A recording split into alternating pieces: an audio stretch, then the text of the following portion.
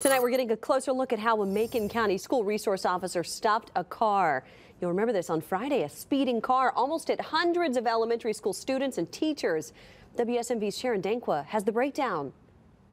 Now, Sheriff Wilburn tells me hundreds of elementary school students lined up right here for a homecoming parade were just seconds away from tragedy had that car turned on this corner. I was sick to my stomach. Sheriff Joey Wilburn says when he heard a high speed chase with the reckless driver was heading straight towards a homecoming parade filled with students, his heart dropped.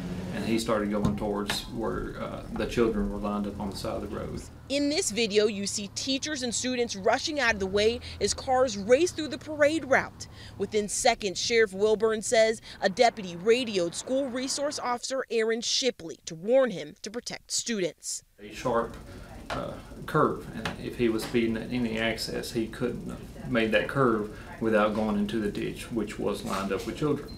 That's when Deputy Shipley purposely crashed his parole car into the speeding car, stopping it in its tracks and saving hundreds of students. Deputy Shipley being able to actually intercept it right at the curve, right before the curve, and uh, bring the car to a stop, uh, you know, is, is the greatest outcome we could have had.